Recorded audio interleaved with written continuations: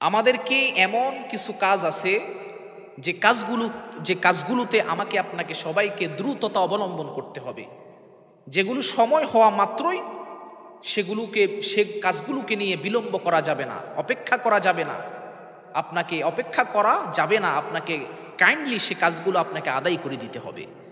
এ ধরনের পাঁচটি কাজ আমাদের আছে। হজরত আলী রাদি আল্লাহ আনহু, আমাদের প্রিয় সাহাবি আমাদের পেয়ারা নবীর জামাতা আলী রাদি আল্লাহ আনহু, তিনি বলেন, বিশ্বনবী আলহি সাল্লাতাম তার শেষে মৃত্যুর পূর্বে তিনি আমাদেরকে, আমাকে পাঁচটি নসিহত করে গিয়েছিলেন। এক নাম্বার হচ্ছে,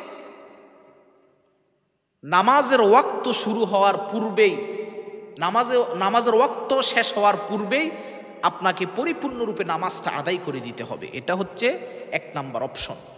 অর্থাৎ আপনার যখন নামাজের সময় হয়ে গিয়েছে তাহলে আমাকে, আপনাকে, সবাইকে নামাজটা আদায় করে দিতে হবে। কারণ এটা কার আইন? আল্লাহ তালার আইন।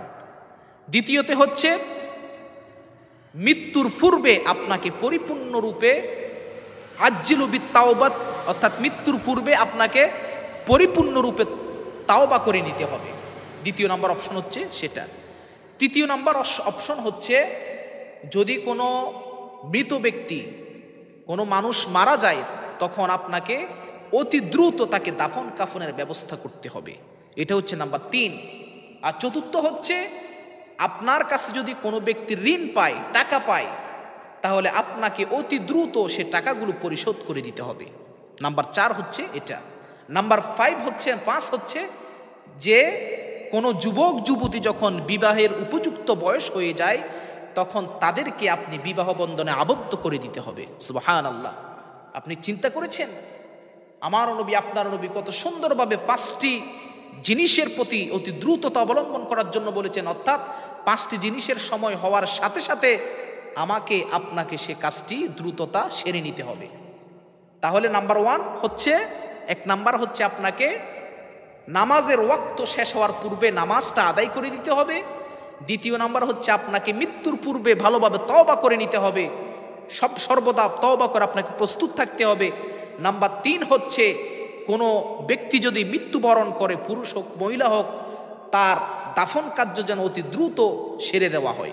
নাম্বার চার হচ্ছে, আপনার কাছে আপনি কারও কাছ থেকে ঋণ নিয়েছেন, টাকা ধার নিয়েছেন, সেই টাকাগুলো আপনাকে অতি দ্রুত তাকে পরিশোধ করে দিতে হবে। নাম্বার পাঁচ হচ্ছে, সমাজে কোনো ছেলে, মেয়ে, যুবক, যুবতী যখন বিবাহ বন্ধনে আবদ্ধ হয় তাহলে অতি দ্রুত তাদেরকে বিবাহ বন্ধনে আবদ্ধ করে দিতে হবে। সুবাহান আল্লাহ আমার আপনার নবী, পেয়ারা নবী বিশ্বনবীর এই পাঁচটি আদেশ, পাঁচটি উপদেশ কত সুন্দর, এগুলো অবশ্যই সমাজে আমাদের দরকার। কারণ আপনি নামাজের ওয়াক্ত শুরু হওয়ার শেষ অর্থাৎ নামাজের ওয়াক্ত শেষ হওয়ার পূর্বেই আপনাকে নামাজটা পরিপূর্ণরূপে আদায় করে নিতে হবে। এটা হচ্ছে আল্লাহ তালার আইন। দ্বিতীয়ত হচ্ছে আপনাকে কি করতে হবে? মৃত্যুর জন্য সর্বদা প্রস্তুত থাকতে হবে, অর্থাৎ তওবা করতে হবে। তৃতীয় নাম্বার, আপনি মরে গেছেন, আপনাকে অতি দ্রুত আপনাকে দাফন করে দিতে হবে। চতুর্থ নাম্বার হচ্ছে, আপনার কাছে মানুষের ঋণ পায়, টাকা পায়। একটা মানুষ থেকে আপনি টাকা ধার নিয়েছেন, কিন্তু আপনি যদি তাকে টাকাটা না দিয়ে আপনি তাকে বারবার ডেট দেন, তাহলে তার অবশ্যই মনে কষ্ট যাবে, সে কষ্ট পাবেন। এই জন্য রাসুল বলেছেন, তার ঋণটা অতি দ্রুত পরিশোধ করে দিতে হবে। আর নাম্বার পাঁচ হচ্ছে সমাজে যখন ছেলে মেয়ে বিবাহের উপযুক্ত হয়, তাদেরকে আপনি এমন একটি সময় আসার পূর্বে, কারণ এমন একটি সময় চলেও আসতে পারে তারা অশ্লীলতায়, বেহায়াপনা, বেলেল্লাপনাতে তারা মেতে যেতে পারে।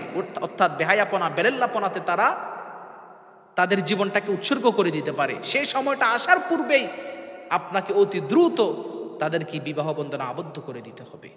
সুবাহ